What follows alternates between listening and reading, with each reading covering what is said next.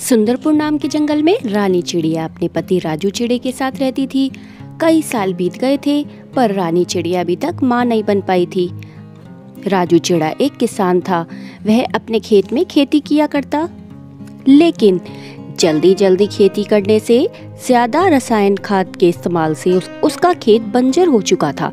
एक दिन रानी चिड़िया अपने पति राजू से कहती है जी आप इस बंजर ज़मीन पर क्यों मेहनत कर रहे हैं?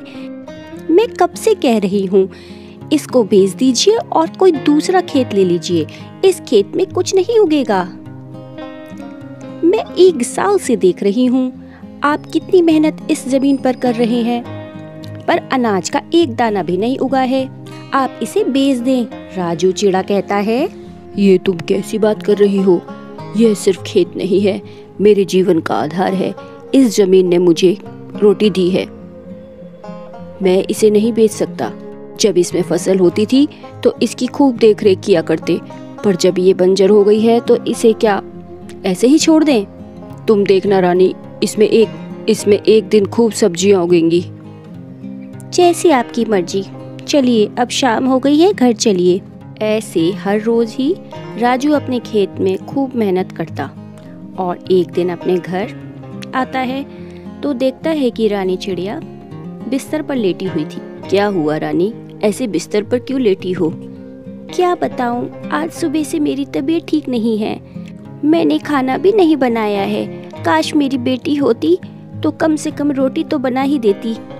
आप एक काम कीजिए, पड़ोस में रहने वाली बन्नों को बुला लाओ।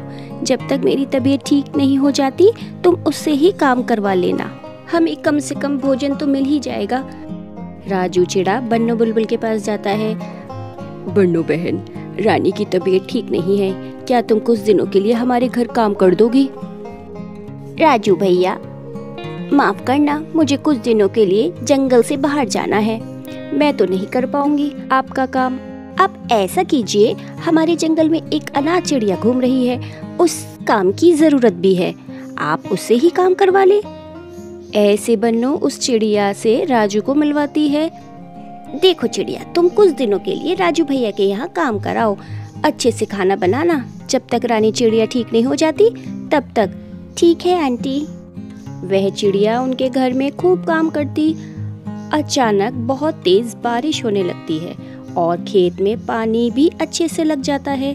तब राजू कहता है, रानी, मैं सोच रहा हूँ अपने खेत में किसी सब्ज़ी का बीज बो दूँ पास में बैठी, वो अनाथ चिड़िया कहती है, अंकल, जब मैं सब्ज़ी लेने गई थी तो सब्ज़ी वाले आपस में बात कर रहे थे कि इस बार टमाटर की अच्छी आमदनी होगी।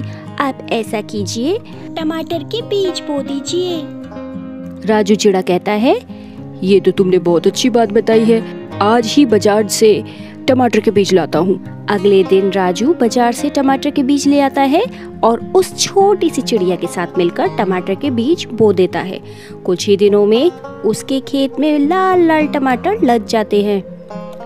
राजू उन टमाटरों को बेचकर बहुत पैसे कमाता है।